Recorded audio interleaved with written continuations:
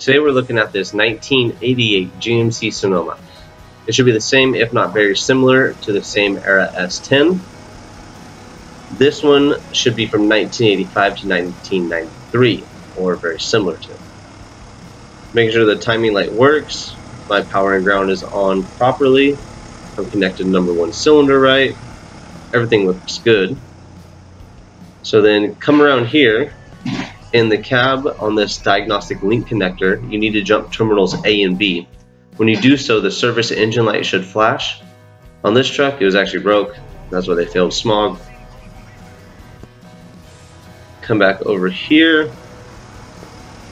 I didn't get a, too good of a view of the uh, timing indicator on the engine side. The light was a little bit bright.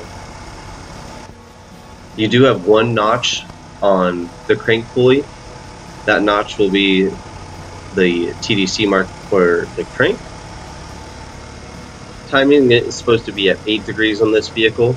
Acceptable by the state is plus or minus 3 degrees. I'm using my timing gun right here to advance the timing to 8. That should bring the notch on the pulley to 0 on the indicator. In this case it did.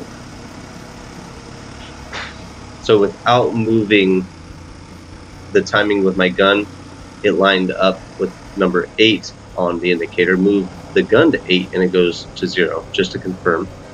If you needed to adjust the timing, right down here is the distributor. There is the anchor bolt right there to the left of the distributor, right above the starter right here, the silver part right there is the starter. And right there is the bolt that you would loosen up, snug loose I should say, so that it doesn't let the distributor spin freely that's pretty much it. Remember to like, subscribe, and share, and I'll see you in the next video.